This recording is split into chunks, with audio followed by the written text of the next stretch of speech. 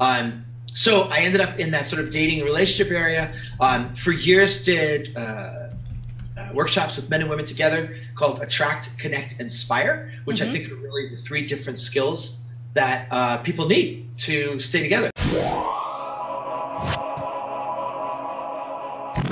You have to know how to attract each other. You have to know how to connect continually.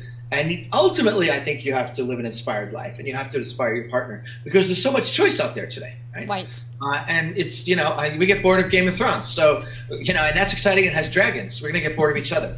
So we, we must not bore ourselves. Um, through all that work, I ended up working with David Deida for a couple of years. got his book just right next to me. I read it often. I was reading it this morning.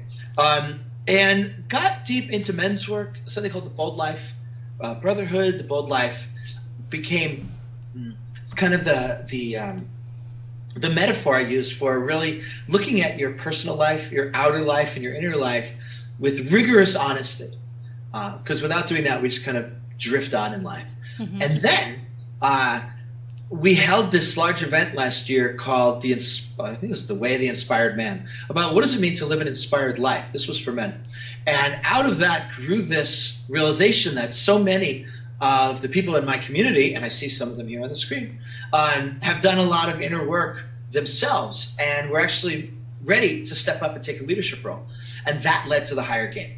So the higher game came out of all this um, because of my interest, interest in gamification and my partner Mariella, her interest in gamification. She brings sort of a huge background in yoga and meditation and all kinds of inner work.